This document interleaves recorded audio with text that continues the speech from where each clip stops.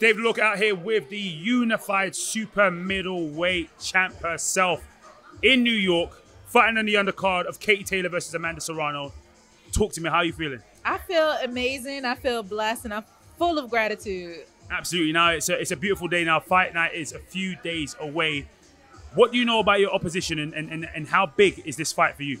Um, this is a fight that I've worked my whole career for. Just this opportunity. I know that my opponent's a hard worker, and she, you know, she's hungry too. But I don't think she she got an appetite like me. Uh, so whatever she has, I got to answer for it, and I'm gonna take her in the deep waters and drown her. Straight up and down. Now listen, not many people will know. Obviously, this is for the undisputed super middleweight championship that stamps your name in history forever and ever.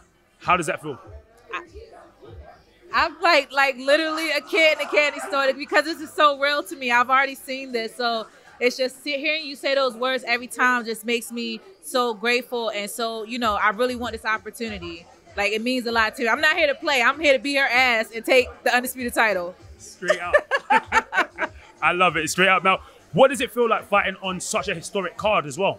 Well, I mean, Katie has been a pioneer not only in professionals but the amateur ranks where I fought alongside her. Amanda's been a pioneer in this professional game, and just to be, I'm, I'm happy. I'm, I'm really a showstopper, but I'm happy to be supporting Cass because these women deserve it. And I know just having me and those ladies, even Cederroos, will push women's boxing further in the future. So I'm just here to do my part. Absolutely. Now, uh, for the for the British people out there that may not have seen too much of Amanda Serrano, what is her fighting style and what can they expect to see from her on Saturday night? Um, she's a great pressure fighter. She has amazing body work. She's very tough, and she she's there to fight. Like she's right there to fight.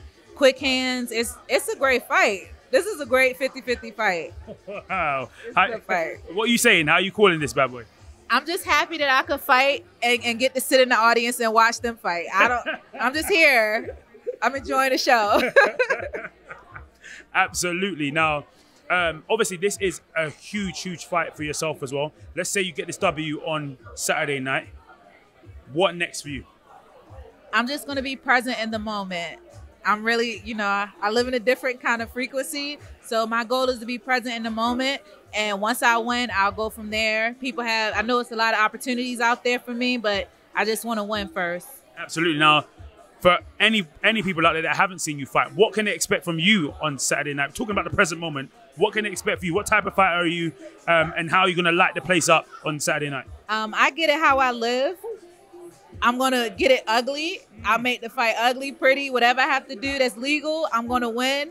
Uh, people know, you know, if you see me on DAZN, you know how I get down. It's fuck that hair. I want the belt. So that's how I'm coming.